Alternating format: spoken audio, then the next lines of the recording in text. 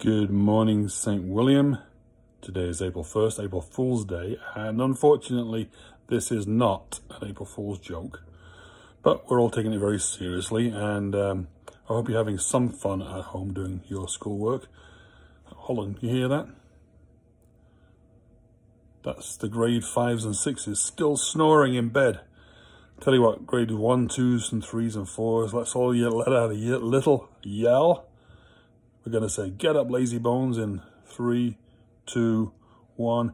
Get up, lazy bones! Okay, grade fives and sixes. Are you out of bed now? Okay. Let's put ourselves in the presence of God. And today we're going to use a couple of prayers from students from Miss Sweeney's class.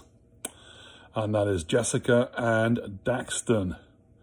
So, in the name of the Father, and of the Son, and the Holy Spirit, Amen. Jessica's prayer is, Dear God, Thank you for the food we eat. I am grateful for my teacher, family and friends. Please pray for the people that have coronavirus. Help me not get coronavirus. Amen. Thank you, Jessica.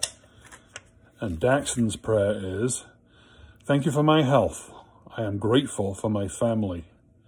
Please pray for the people who are sick. Help me be a good listener. Amen. Thank you, Daxton.